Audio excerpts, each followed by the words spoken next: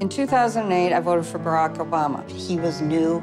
He had new ideas. I think that now we've given Obama a fair chance, and I don't think he's able to do what we need him to do. The president's doing a mediocre job. You know, the economy, in my opinion, is still the same as it was four years ago. Obama said that he was going to help the middle class, and that's where I am. I'm in the middle class, and instead it has hurt me. I have not received the hope and change that I believed in in 2008. Americans for Prosperity is responsible for the content of this advertising.